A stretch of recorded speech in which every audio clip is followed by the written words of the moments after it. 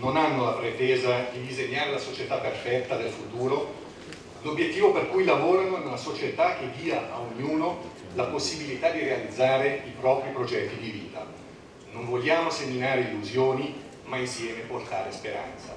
Queste parole sono di Olof Palme, il leader socialista svedese, assassinato in strada esattamente 25 anni fa. Parole che credo siano ancora attuali oggi e che possono in qualche modo illuminare e guidare anche la nostra azione politica. Molti sostengono oggi che la politica è sempre uguale a se stessa, che mai nulla cambia. Io non sono d'accordo. Pensate a cos'era Ticino 50 anni fa e riflettete a cosa è oggi. Pensate ad esempio a quanti giovani potevano ambire di proseguire gli studi all'università e quanti lo possono fare oggi. Pensate alle case in cui si viveva allora e a quelle in cui si vive oggi. Pensate al sistema sociale, agli ospedali, ma anche alle scuole, come sono cambiate. Un viaggio straordinario che ha portato all'edificazione di un cantone moderno con un elevato tenore di vita, una realizzazione cui i socialisti hanno dato un contributo fondamentale. Ma il nostro cantone è oggi confrontato con nuove sfide, nuovi problemi, un nuovo mondo comunicazione, commercio, cultura in un contesto di progressiva costante internazionalizzazione dei rapporti. E il nostro paese appare oggi intimorito, bloccato di fronte ai cambiamenti che si prospettano. Un terreno dove sembra trovare particolare alimento non la politica della speranza e dell'iniziativa, ma quella della paura. Paura di quello che sta attorno, paura degli stranieri soprattutto se ne è parlato molto in questi anni con accenti quasi sempre negativi. Stranieri che delinquono, stranieri che portano via il lavoro, stranieri che assediano culturalmente e economicamente il nostro paese. Noi in mezzo, irrigiditi, lo sguardo fisso concentrato sui confini politici o ideali del nostro cantone da difendere e preservare. Un riflesso condizionato e la percezione a volte di trovarci al centro del mondo ma lo siamo davvero? Noi possiamo anche considerarci al centro del mondo e certamente possiamo amare e celebrare la terra in cui viviamo. Non v'è nulla di male. Basta rendersi conto, usando le parole di Claudio Magris, che l'amore per il paesaggio che si vede dalla propria finestra è davvero vivo solo se si apre al confronto con il mondo, se si inserisce spontaneamente in una realtà più grande come l'onda nel mare e l'albero nel bosco. Vale anche per il nostro cantone, portatore di valori e di risorse tali per cui davvero non deve temere nulla se non la propria paura. Qualcuno potrebbe obiettare che la paura ha ragione d'essere quando la cronaca ci racconta quotidianamente di violenze, furti e minacce. Ho sentito ancora che negli ultimi giorni il Luganese, rispettivamente il, Mendrisiotto, è stato oggetto di nuove scorribande di bande di ladri. Io sostengo che la sinistra deve confrontarsi con il tema della delinquenza e della sicurezza e che queste preoccupazioni non vanno negate. Nella mia attività decennale di procuratore pubblico ho toccato con mano l'angoscia, la paura di chi è stato oggetto di un atto di violenza o semplicemente di un furto in casa o di minacce. E chi tra voi o tra noi ha subito atti analoghi sa di cosa sto parlando sono, ev sono eventi che lasciano tracce durature, spesso indelebili, nella coscienza di una persona. La sicurezza è un elemento costitutivo centrale del patto sociale che unisce i cittadini ed è una delle esigenze fondamentali dell'uomo. L'inquietudine dei cittadini va ascoltata e accolta. Anche la sinistra deve sapersene fare carico. Riconoscere la polizia e magistratura risorse, mezzi e strutture organizzative per svolgere bene il proprio difficile compito è nell'interesse di tutti. Fare in modo che gli spazi pubblici rimangano fruibili a tutti, anche alle donne e ai bambini, è un atto di civiltà.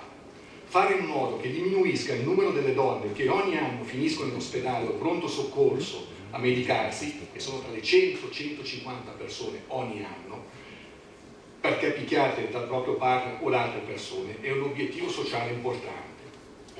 Repressione, certamente, ma anche prevenzione.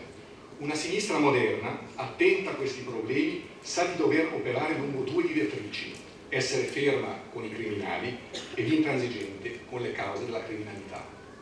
Ed è così, e solo così, che potrà opporsi credibilmente a coloro i quali, purtroppo oggi non sono pochi, pensano di usare della sicurezza come di un ariete politico, combustibile buono per ogni iniziativa.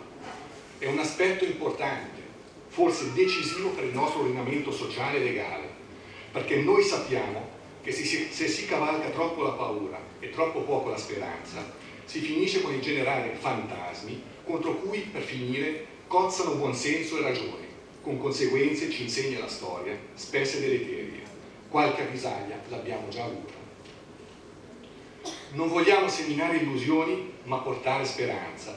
Ma qual è il posto della speranza quando i soldi a fine mese non bastano perché affitto e cassa malati pesano ed il reddito è basso? Quando il lavoro non c'è o se c'è è precario e mal pagato?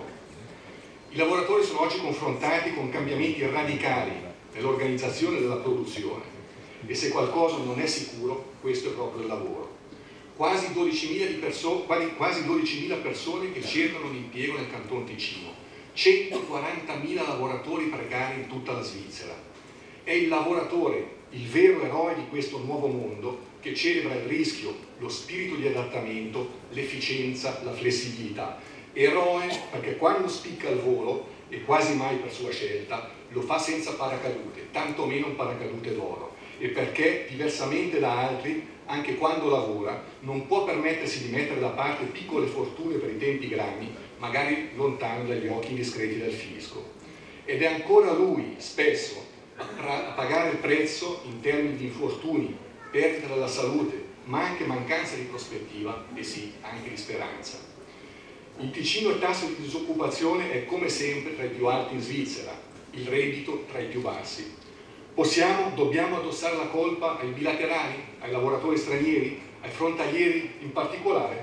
Qualcosa, forse, ma sarebbe miope ed ingiusto non considerare le palesi contraddizioni di chi si vuole oggi al fiere degli interessi della manodopera, additando nemici colleghi lavoratori stranieri ma che nulla fa per adottare misure concrete per arginare i fenomeni di dumping salariale e in genere di precarizzazione dello statuto del lavoratore.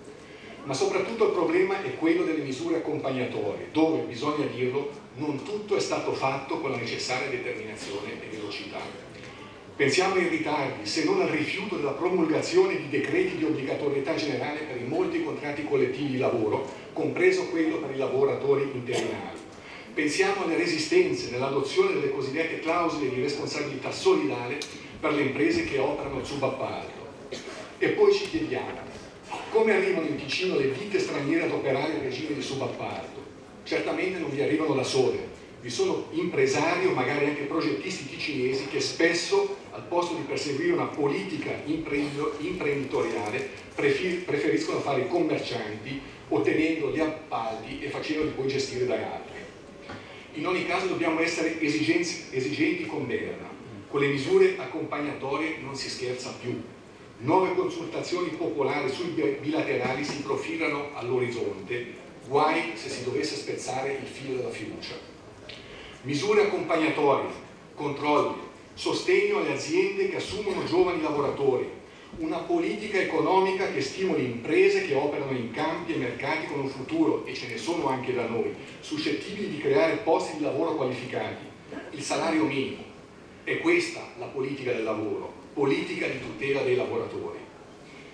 Chi fa politica non può avere la pretesa di disegnare la società perfetta, dicevo all'inizio, sa riconoscere i limiti della propria azione, deve avere il coraggio dell'incompiuto essere consapevole di percorrere un breve tratto di strada che forse altri più tardi completeranno.